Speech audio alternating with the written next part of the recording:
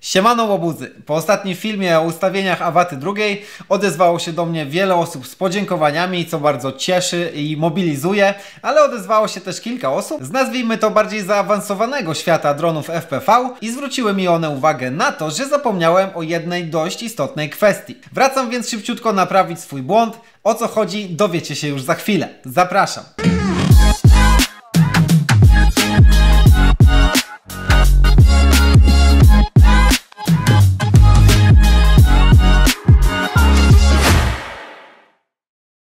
Na wstępie chciałem zaznaczyć, że ustawienia, o których mówię, no nie wpływają aż tak bardzo na efekt, który chciałem osiągnąć, pokazując Wam ostateczny film, czyli tak ustawić awatę drugą, żeby osiągnąć ten pożądany efekt film looku. Fakt faktem jednak, żeby być w porządku, na pewno wypadałoby wspomnieć o ustawieniach, o których powiem dzisiaj. Przechodząc więc do setna, poza wszystkimi ustawieniami, o których mówiłem w poprzednim filmie, można, bo oczywiście nie trzeba, ale na pewno warto to sprawdzić, ustawić sobie jeszcze dwie rzeczy. Po pierwsze, proporcję obrazu z 16 na 9 zmienić na 4 na 3. Po drugie, wyłączyć elektroniczną stabilizację obrazu. Dlaczego? Już tłumaczę.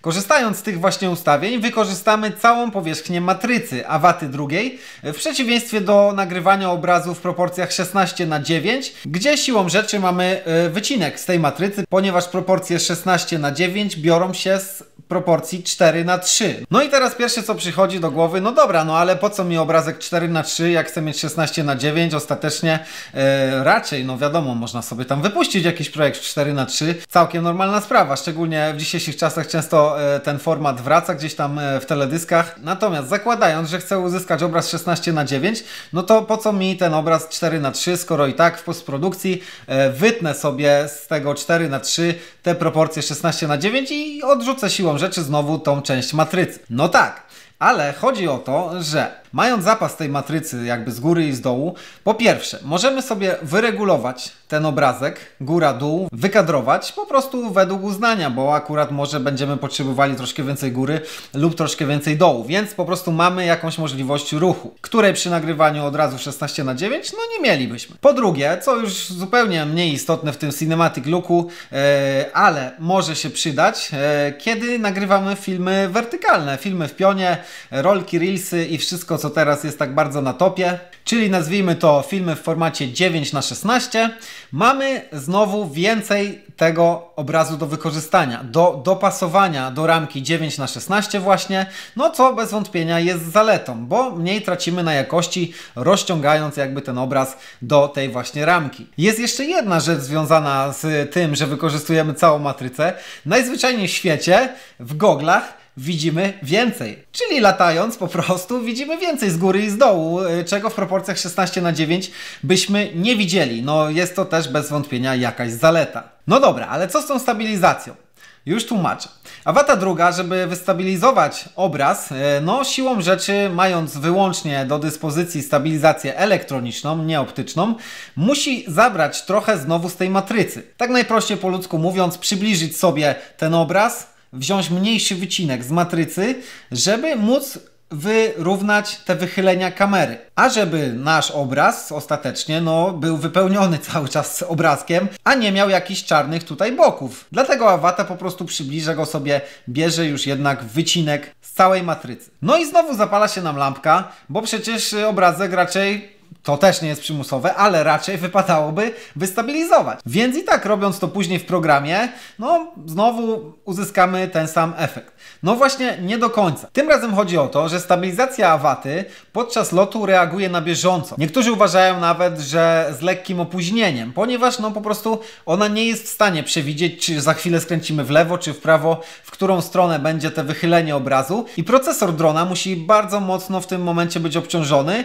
żeby na bieżąco bieżąco ogarniać te wychylenia i stabilizować na ten obrazek w sposób elektroniczny. Więc logiczne wydaje się to, że y, program y, do stabilizacji na kompie łatwiej poradzi sobie z gotowym już nagraniem niż procesor Avaty, który robi to na bieżąco, no co sprowadza się ostatecznie do tego, że lepszy efekt stabilizacji uzyskamy w postprodukcji. Co za tym idzie, możemy sobie też tutaj pozwolić na pewną regulację, po prostu natężenia, nazwijmy to, tej stabilizacji, a wata druga robi to po swojemu i tyle.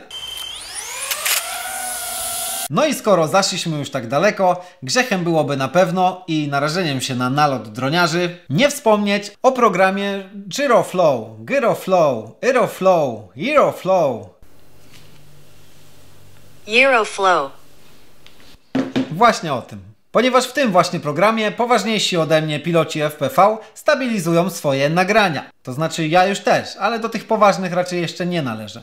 No chyba, że mówimy o wyrazie twarzy podczas latania. Euroflow to naprawdę świetny program, a przede wszystkim, choć na pierwszy rzut oka może nie wygląda, naprawdę banalny w obsłudze. Właściwie nie trzeba wiedzieć nic o tych wszystkich ustawieniach, które tu widzicie. Jeśli tylko chcemy wystabilizować sobie konkretny plik i otrzymać go w formacie 16 na 9 wystarczy upuścić go tutaj na środku, a następnie wyeksportować, pokazując oczywiście e, jakiś folder docelowy i program zrobi dla nas gotowy już plik, co bardzo istotne, ze wszystkimi parametrami, które mieliśmy w pliku źródłowym. Więc tutaj na pewno nie musimy się martwić, gdyby ktoś się zastanawiał, e, co na przykład stanie się z profilem obrazu. Sprawdzałem spokojnie, delog zostaje tutaj delogiem.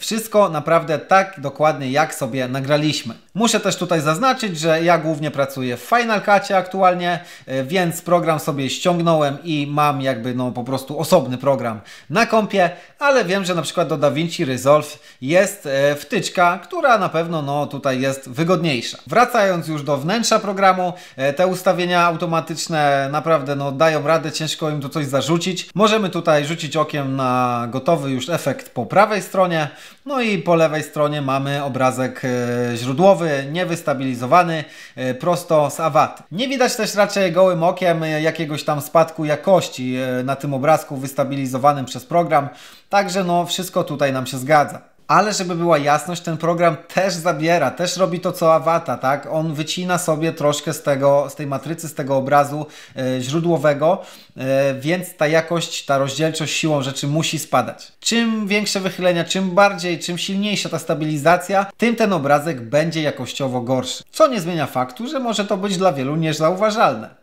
Oczywiście możemy też zastosować własne ustawienia, e, pobawić się tym troszkę, tymi suwakami. Wszystko jest tutaj bardzo intuicyjne. Możemy zmieniać e, siłę tej stabilizacji. Możemy sobie też zmienić proporcję obrazka właśnie z 16 na 9 na 9 na 16. Zostać przy 4 na 3.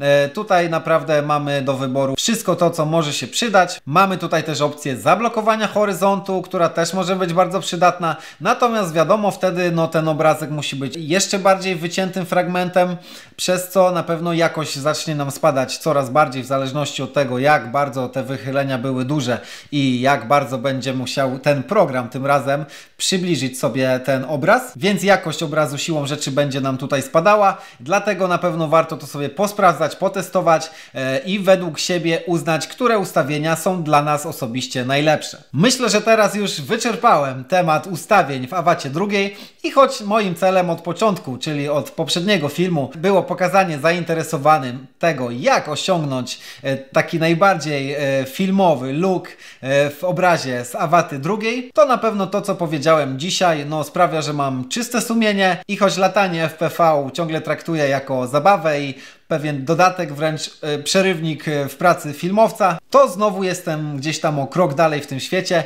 e, także powoli zaczyna mnie on wciągać. Ja swoje zrobiłem, teraz wasza kolej. Lajkujcie, subskrybujcie, komentujcie i nie zapominajcie, życie to film. Strzała!